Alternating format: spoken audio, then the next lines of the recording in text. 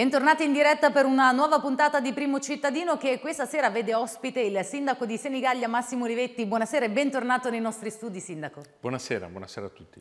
Potete intervenire in diretta come sempre telefonando allo 0721 86 14 33 oppure potete inviarci un messaggio su WhatsApp al 338 4968 250. Mi raccomando dei brevi messaggi di testo, già ci sono arrivate alcune domande per lei, ma eh, vorrei partire Sindaco con una delle notizie che abbiamo dato nel corso del telegiornale perché questa mattina insieme al suo collega di Mondolfo e all'assessore Baldelli, l'assessore regionale, avete eseguito un sopralluogo per il ponte ciclopedonale sul fiume Cesare Cesano, vediamo qua le foto relative a questo incontro, un'opera attesa da tanto tempo e che andrà a mettere in sicurezza non solo pedoni e, e ciclisti che erano costretti a passare, sono anche oggi costretti a passare sulla statale 16, ehm, ma appunto anche un bel collegamento tra due province. Sì, indubbiamente è un momento molto particolare, è stato oggi il ponte era atteso da, da molto tempo, oggi stata, sono stati consegnati il cantiere, è stato consegnato il cantiere alla ditta che poi lo realizzerà, è un'opportunità sia per Senigallia che per Mondolfo perché appunto come lei diceva c'è la possibilità appunto di avvicinarci, soprattutto con quello che è il turismo cosiddetto lento, quindi ciclistico e pedonale. Eh, quando potrà essere pronta quest'opera? Hanno dato delle tempistiche? 400 giorni da oggi, quindi ah, praticamente però. sono abbastanza precisi, quindi prossimo anno intorno a giugno. Intervento a carico della Regione interamente? Interamente a carico della Regione, rientra all'interno di quello che è il progetto della ciclovia adriatica, per quanto ci riguarda Senigallia ce l'ha quasi definita fino verso il Cesano, quindi dovremmo solamente collegarlo dall'uscita del Cesano fino alla frazione. Adesso invece torniamo a parlare purtroppo dell'alluvione che ha colpito pesantemente anche il comune di Senigallia lo scorso settembre. Qual è la stima dei danni e quanto il comune aveva dovuto anticipare per gli interventi di somma urgenza? La situazione, come è noto, anche perché eravamo un po' in tutta Italia conosciuta, è stata una situazione molto disastrosa, è stato un evento veramente catastrofico e che non, non, potevamo neanche immaginare. I danni sono molto consistenti per la nostra città perché noi abbiamo, un, abbiamo dovuto esporci da un punto di vista economico per circa 9 milioni come, come anticipo di bilancio in quanto abbiamo cercato di far fronte a quelle che erano le esigenze dei cittadini nell'immediatezza. Dall'altra parte i danni eh, si contano oltre 70-80 milioni di euro, quindi in questo momento siamo abbastanza avanti, grazie alla Regione e soprattutto all'interlocuzione col Governo centrale, abbiamo, stiamo distribuendo quello che è il contributo autonomo di sistemazione perché abbiamo ancora circa 200 famiglie fuori casa e dall'altra parte, altra cosa molto importante, cominciamo a distribuire quello che è l'anticipo di 5.000 euro per le famiglie e 20.000 euro per le aziende. Contiamo che per metà maggio di cominciare a distribuire gran parte degli importi, poi il resto a fine luglio. Ha sentito anche i suoi concittadini quali difficoltà ancora stanno riscontrando? Le difficoltà sono di due, di due nature. La prima, che è la più consistente, è che per quanto riguarda questi aiuti prevedono che ci sia una documentazione fiscale, quindi praticamente che i lavori siano fatti. Molte delle case non riescono a farli, perché ancora, essendo avvenuto l'evento a settembre, l'umidità non ci permette, non ha permesso di poter far asciugare le case, quindi si aspetta a luglio poter fare i lavori, e altra il reperimento delle imprese stesse. Quindi questo è il primo grosso problema. Il secondo è quello di un'asta fluviale che è molto caratteristica della nostra città e viene attraversata da questo fiume, è stata purtroppo costruita molto e tanto intorno alla stessa asta, per cui la pulizia dell'alveo diventa fondamentale, noi stiamo interloquendo con la Regione affinché questo avvenga il prima possibile. Si è parlato di vasche di espansione per cercare di risolvere parte dei problemi. Sì, questa è una delle, delle soluzioni, c'era una vasca che era stata già, eh, era in fase di realizzazione, in questo momento eh, è stato dato un incarico a due università per poter approfondire quelle che potrebbero essere le soluzioni, si parla anche di aree di laminazione, cioè di, di luoghi in cui la campagna può essere invasa dall'acqua in modo tale che eh, non arrivi all'interno dei centri abitati. Stiamo anche, stanno anche cercando di vedere se ci possono essere la possibilità di realizzare o dei forni fossi discolmata, quindi le strutture che possano portare l'acqua al mare, ma Senigallia ha un problema, nel senso che è stata concepita come completamente urbanizzata sulla costa e non ci sono grossi spazi, ma anche dall'altra parte la possibilità, e questo magari speriamo di poter intercettare finanziamenti nell'ambito dell'unità di crisi per la siccità, cioè del, dei bacini appunto di raccolta delle acque. Sono tutti escamotage che potrebbero evitarci che l'acqua arrivi all'interno del centro abitato. Si era parlato anche di un nuovo sistema di allertamento per il Mise e il Nevola,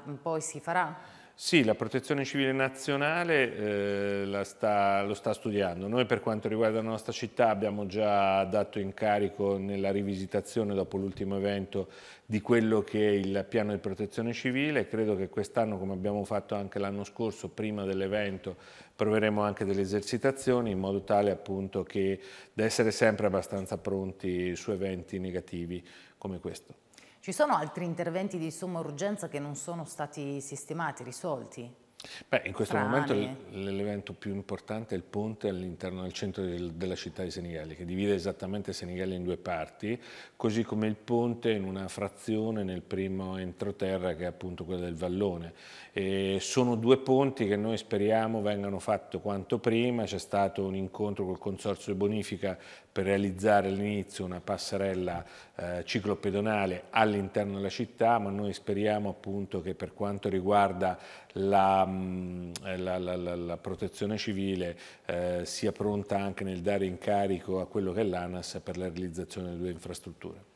Tante persone, veramente migliaia penso, si sono adoperate in quei giorni per cercare di aiutare chi era in difficoltà, senigallesi ma anche tanti volontari provenienti da fuori comune, da fuori regione, anche le forze dell'ordine hanno avuto, protezione civile, insomma l'elenco sarebbe davvero lungo, hanno avuto un ruolo fondamentale e proprio di pochi giorni fa la foto che adesso vi facciamo vedere perché lei ha voluto dare un riconoscimento. All'arma e non solo, ma intanto partiamo da, dalle foto, ecco qua, un riconoscimento dovuto. Sì, questo è con il comandante provinciale dell'Arma dei Carabinieri, ma eh, qualche settimana prima avevamo fatto un incontro perché in comune non era possibile poi ospitarli tutti con i rappresentanti delle forze dell'ordine ma anche appunto dei volontari che erano venuti a Senigallia, oltre quasi 800 persone, è stata molto seguita, è stato un momento anche particolarmente commovente. Perché... Avere, dovremmo avere le foto, eccolo qua, esatto, al Teatro La Fenice. Esatto, questo è stato fatto al Teatro della Fenice qualche giorno prima. Era, era, giusto, era giusto che il territorio appunto ringraziasse coloro che anche da lontano erano venuti a darci una mano. E abbiamo visto proprio anche nei giorni scorsi nel nostro TG che un'associazione di Fano, il Paese dei Balocchi, ma non solo, associazioni tra le note, appunto hanno consegnato parte dei proventi di una canzone scritta insieme a Bungaro e ai bambini a un asilo di, di Senigallia, ma anche la Croce Rossa. Quindi c'è stata una sinergia e un, un, sostegno, un supporto da parte di tantissime realtà, suppongo. E quindi sì, la solidarietà, l'ondata della solidarietà è, è stata estremamente importante per noi. Un altro argomento importante, Sindaco, il, il bilancio, eh, abbiamo visto i rincari generalizzati, il caro bollette, eh, questo quanto ha pesato in più per, eh, sul bilancio?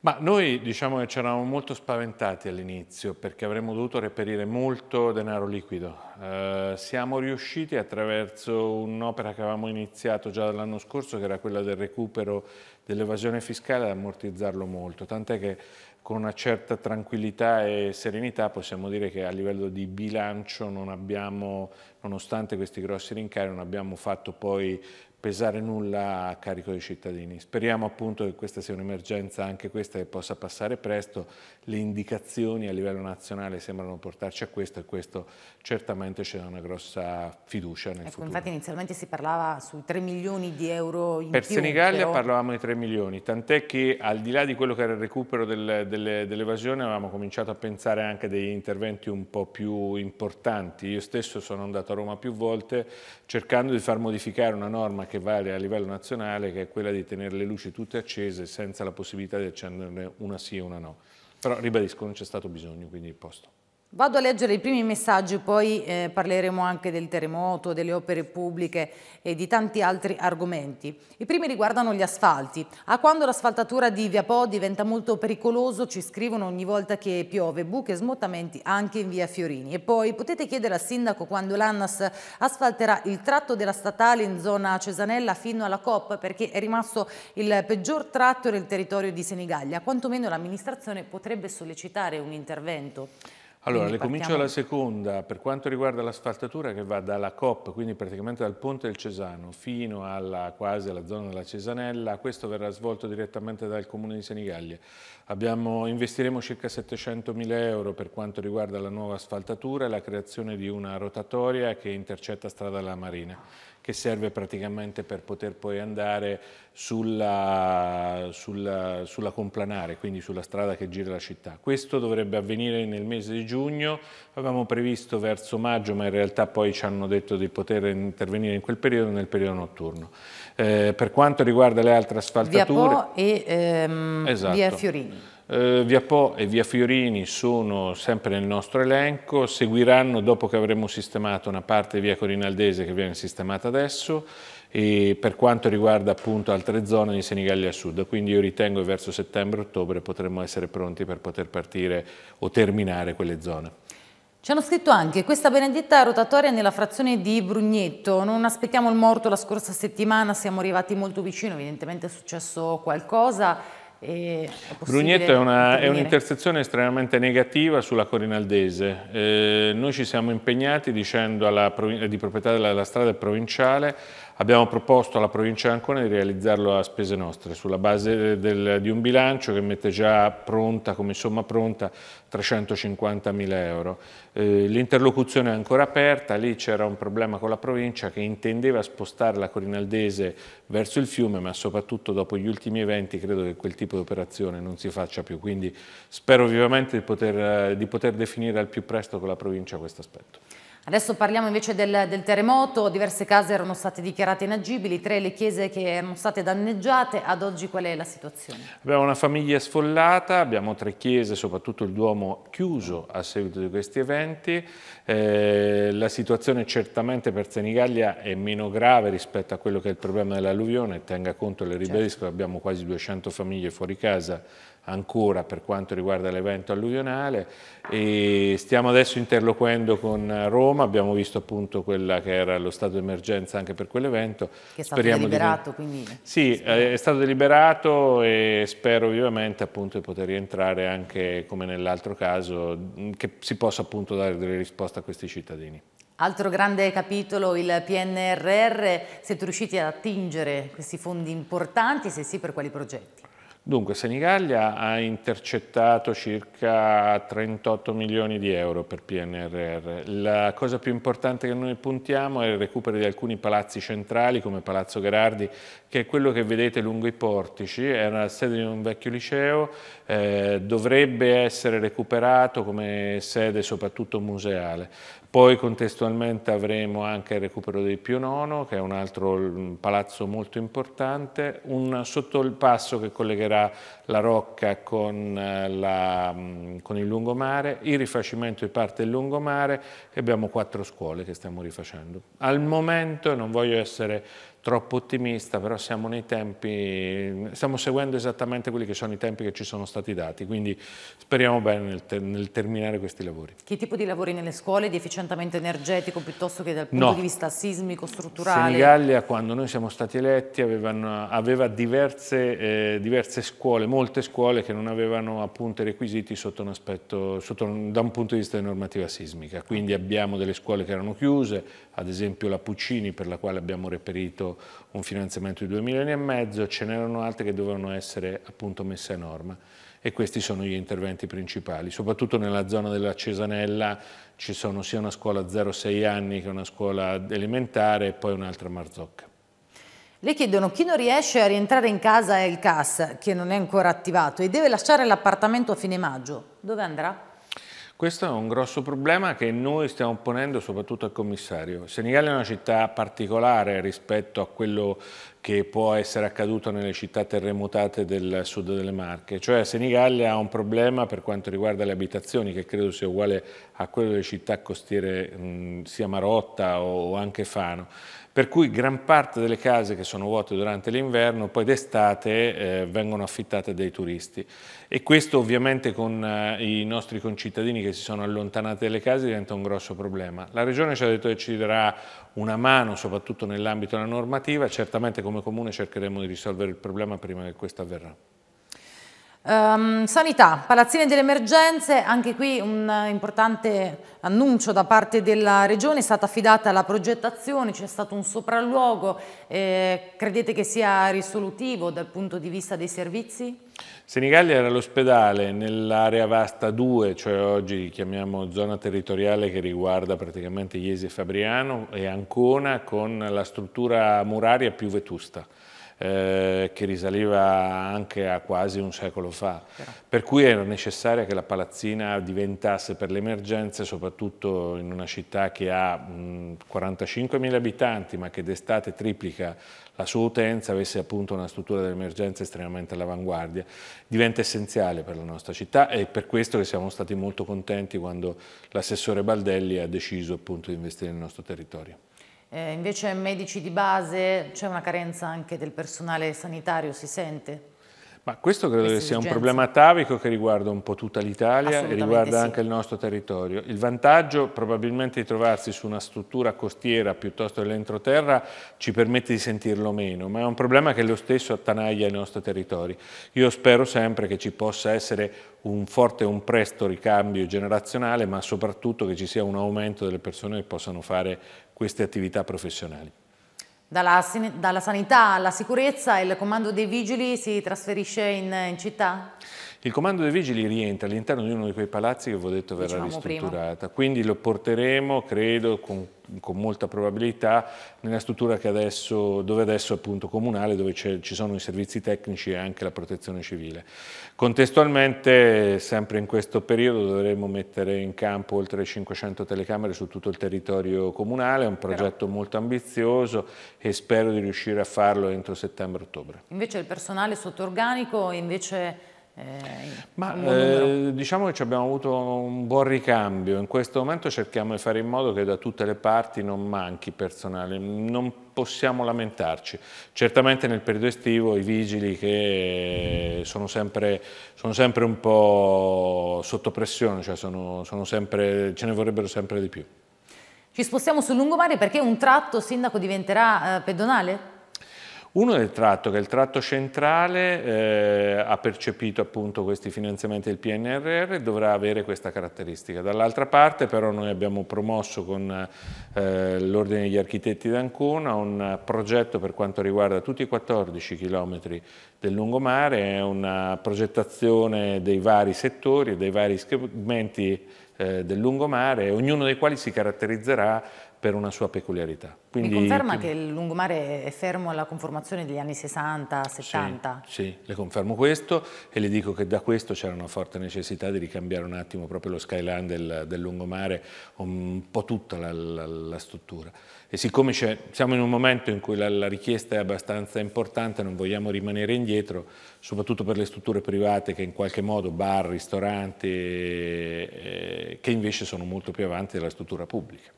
E non possiamo non parlare della, della rotonda che quest'anno compie 90 anni, quindi insomma grandi festeggiamenti anche eh, intorno a questo simbolo della città di Senigallia.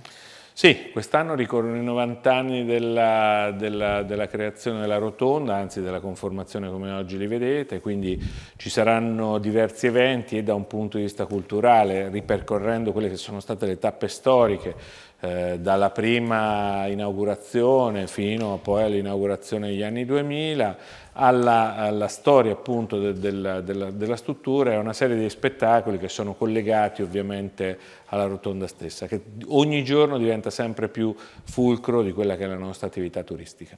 Ci dobbiamo fermare per qualche istante di pubblicità e poi torniamo in diretta.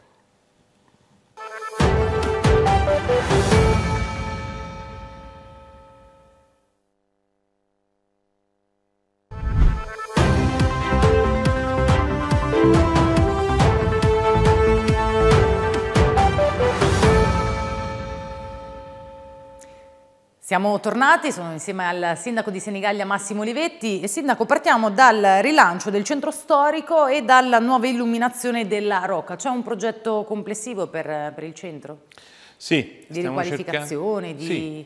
Esattamente, cerchiamo di riqualificare e porre un attimo in attenzione alcuni monumenti. La Rocca era troppo buia e quindi eh, adesso attraverso un, un, nuovo progetto dovrebbero partire tra pochissimo i lavori di una illuminazione della Rocca che ci serve per rendere viva anche Piazza del Duca dove ci sono delle nuove attività economiche. Oltre a questo ovviamente, come dicevo prima, attraverso il, i fondi del PNRR recupereremo tre o quattro di quelli che sono gli immobili più importanti che la città ha a livello storico e, eh, e quindi cercheremo di essere ancora più attrattivi nella parte storica della città. Le leggo un messaggio, ma credo che insomma, abbia risposto anche prima. Le attività economiche che non possono rimanere dove erano perché devastate, mh, mm, penso che si riferisca all'alluvione, non hanno diritto ai rimborsi in quanto non sistemano i locali? No, eh, sotto questo aspetto qui non è esattamente così, non è necessaria la sistemazione a quello che ci hanno riferito. Eh, in alcune situazioni sarebbe sufficiente, a parte questa prima parte che è quella relativa a un anticipo per aiutare chi dovrà poi risostenere o ha sostenuto già delle spese, nella seconda fase credo che ci sia sufficiente, eh, cioè c'è suffic eh, sufficiente avere una perizia di quella che è la situazione dei danni che si sono avuti e quindi ovviamente poi permettere lo spostamento se questo è necessario. Passiamo agli impianti sportivi, anche qua ci sono dei lavori importanti che andrete a eseguire, da dove partiamo? Partiamo dal Ponte Rosso che per noi è molto importante in quanto è una struttura storica che aveva che si trova a metà del, del lungomare, che aveva ospitato tennisti un tempo molto famosi, tipo Panatta, Pietrangeli, così. Il progetto eh, è già approvato? Il progetto è stato approvato, adesso va a bando, si tratta di un progetto di affidamento ai soggetti che poi lo gestiranno, noi speriamo appunto che questo possa prendere vita diciamo, anche abbastanza velocemente, perché sono dei lavori importanti e noi era necessario ripulire quell'area. In più stiamo rimettendo a posto una struttura sportiva che è appunto quella calcistica eh, per la quale abbiamo già destinato sui 700 mila euro, quindi poi un rifacimento del manto erboso dove giocano soprattutto le giovanili e le reti, eh, ricostruiamo due palestre per quanto poi potranno essere utilizzate anche dalla scuola e soprattutto il palascherma e una palestra in generale a Marzocca per oltre un milione. Attingete alle casse comunali o avete intercettato fondi? Allora no, per gran parte sono, in questo caso, sono degli, o delle eh, proventi arrivanti dalle alienazioni o anche alle casse comunali perché in questo momento possiamo avere una certa liquidità e quindi questo ci permette di poter eh, usufruire anche dei nostri denari. Invece per il ponte Garibaldi sono arrivati i pareri necessari alla demolizione? Cinque giorni fa la sovrintendenza ci ha detto che potevamo demolirlo, quindi eh, più che noi sostanzialmente il, il, commissario.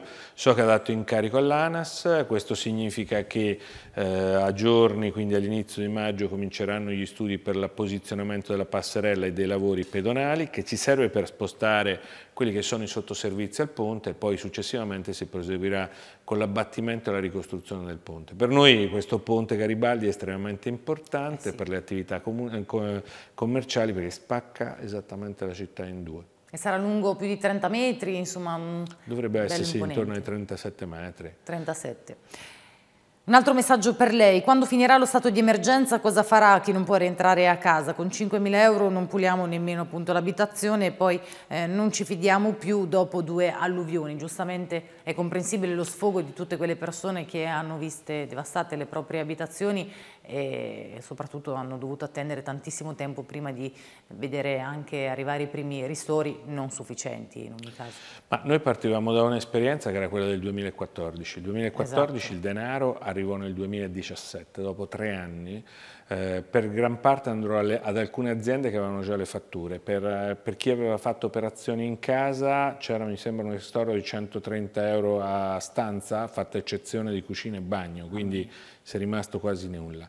L'anomalia è che chi all'epoca prese dei mutui per rimettere a posto casa poi successivamente è stato ricolpito questa volta. I 5.000 che sono arrivati sono solo un anticipo rispetto a quello che il governo ha stanziato e che dovrebbero poi arrivare successivamente. Mm, come io dico spesso non parlo mai se non ho certezza di quello che conosco, quindi non so quale e in quale percentuale verranno poi risarcite eh, i danni che si sono avuti. In, fino a questo momento diciamo che le aspettative sono state mantenute. Ritorniamo in zona mare, andiamo al porto per quanto riguarda il dragaggio, mm, doveva, si pensava insomma, che potesse essere riutilizzato per il pascimento delle spiagge perché appunto sono sostanze non inquinate, però ormai siamo eh, in ritardo. Dunque, sul porto noi abbiamo un finanziamento di 800 mila euro e credo che lo faremo a breve. Più che quello, il ripascimento, noi eh, stiamo lavorando affinché ci permettano soprattutto il dragaggio dei fiumi. Lì eh, c'è molta sabbia che sarebbe molto positiva per le nostre spiagge, eh, anche perché purtroppo all'interno de, del, dei fiumi c'è un alto, il livello appunto di questo materiale è molto elevato, abbiamo sentito sia il Ministero che la Regione e credo che questa sia una via che si sta perseguendo, solo che come giustamente lei dice il 29 aprile, quindi fra pochi giorni inizierà la stagione estiva, per cui fino a settembre non potremo utilizzare quel materiale. Logicamente per il porto si parla di competenza regionale, invece in questo caso che illustrava lei col comune può farsi avanti per cercare no, di... i fiumi, i fiumi sono sempre di il fiume Mise è sempre di competenza regionale, eh, solo che in questo modo noi stiamo, ecco, noi stiamo, dicendo che se volessero potrebbero sempre eh, conferirci questo materiale o conferirlo alle società che poi sostanzialmente per noi ci fanno il ripascimento delle spiagge. La tassa di soggiorno l'avete aumentata, Sindaco? No, la tassa di soggiorno è rimasta esattamente la stessa. La Tari invece, tutto quello che riguarda tutto i tributi? Tutto è rimasto esattamente uguale rispetto agli altri anni. Non nonostante le difficoltà di cui parlavamo all'inizio, no? sì, per, per, tasse, questo, sì. per, le tasche de, de, del Comune, per i bilanci. Ma siamo riusciti un attimino a evitare tutto questo, come dicevo all'inizio, attraverso un uh, recupero di quelle che erano le somme evase e devo dire che ci sono state delle grosse sorprese per quanto riguardava gli importi che siamo riusciti a racimolare. E anche quest'anno vi confronterete con le associazioni di categoria sulla bozza, che è la bozza di ordinanza che riguarda gli orari di chiusura dei bar in spiaggia, 21.30 al momento l'orario fissato. Sì, eh, diciamo che l'ordinanza più o meno ricalcherà quella dello scorso anno, quindi sono 21.30, fatta eccezione di alcune serate che sono concordate con l'amministrazione comunale e valgono per tutti e che seguono appunto gli eventi che faremo al mare e dall'altra parte ci saranno invece un numero di serate che poi ogni bar potrà utilizzare a suo piacimento. Vogliamo parlare di qualche evento in programma perché ormai il calendario sarà stato definito sì, più o meno, quindi sì. annunciamo ecco, anche per tutti diciamo i telespettatori che, che non, abbiamo non sono i, i tradizionali eventi anche se quest'anno saranno particolarmente innovativi, cioè saranno rinnovati che sono appunto il Summer Jamboree e eh, l'X-Master che sono sostanzialmente due, due, momenti particolarmente importanti per la nostra città. A questi aggiungiamo Fosforo che viene anticipato nel mese di maggio. Fosforo è un, un è, uno, è, un momento che viene dedicato soprattutto ai più giovani e alla scienza, quindi alla ricerca che viene fatta appunto tutte, eh, alle persone più giovani e eh, poi sostanzialmente altri momenti particolari come quello dedicato al fado piuttosto che quello dedicato alla nostra tradizione per quanto riguarda le rievocazioni storiche e così via. Invece per la festa della liberazione che si celebra domani, quali sono le iniziative in, in programma? Domani sostanzialmente noi partiremo molto, il nostro, il nostro, calendario è piuttosto mattutino, alle 9 faremo, depositeremo alcune, colon, eh, alcune corone d'alloro in tre o quattro punti della città, poi ci sarà la Santa Messa il discorso in piazza con la banda e la lettura di alcune poesie da parte appunto di, di alcune signore. Sindaco è stato un vero piacere averla nei nostri studi anche perché sappiamo per fortuna che tanti telespettatori di Senigallia insomma, sono affezionati a questa emittente quindi speriamo di poterla riavere ben presto nei nostri studi. Grazie, buona serata a tutti. Buona serata anche a tutti voi, ringraziamento e regia a Cristiana Guerra e Riccardo Sora. Vi ricordo l'appuntamento di domani mattina perché noi non faremo festa, per cui alle 7 ci sarà Massimo Foghetti che leggerà insieme a voi i giornali. Buona serata a tutti. Thank you.